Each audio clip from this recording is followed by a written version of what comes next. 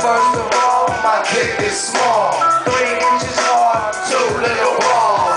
When the lights are out, I stick it in her mouth. She said, I don't smoke, but it slims. I wear a rubber if it fits. But they don't make condoms for baby dicks. Maybe it's time to buy the pump. But every time I stick my dick in, I come. And my last girlfriend was a stripper. The bitch had big curtains. Like throwing a